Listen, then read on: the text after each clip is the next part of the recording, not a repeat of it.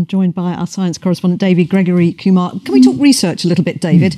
Um, because there's a huge global effort going into fighting coronavirus. Can you give us an idea of just where we are with that? I can indeed. We've been talking to Professor Lawrence Young. He's from Warwick Medical School at the university, and he's been explaining how when you want to treat something like coronavirus, what you tend to do is go back through existing drugs first. So they're looking at drugs that were developed to treat HIV and Ebola, and in fact, some of the potential treatments go back even further in history. There's a very old drug that was brought in to treat malaria during the Second World War called chloroquine, which is also being tested. Last Friday, the World Health Organization launched a massive global mega trial to look at these different drugs.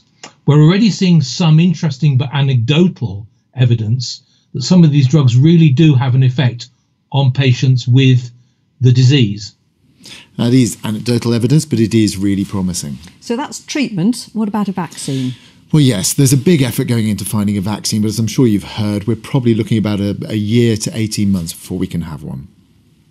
There are more than a dozen different approaches to vaccine development.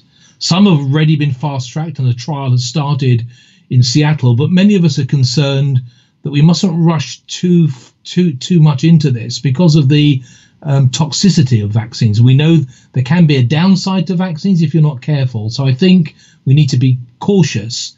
Nevertheless, with appropriate safety testing, it's possible that we'll have something within a year to 18 months. And that is really fast, I have to say. The professor also made some interesting points about maybe we've been quite interested in research terms in looking at antibiotic resistance, and maybe we rather took our eyes off the ball when it came to sort of finding novel ways to treat viruses like coronavirus. The whole interview is really interesting. We've put it all up on our Facebook page. Yes, definitely worth watching that. Uh,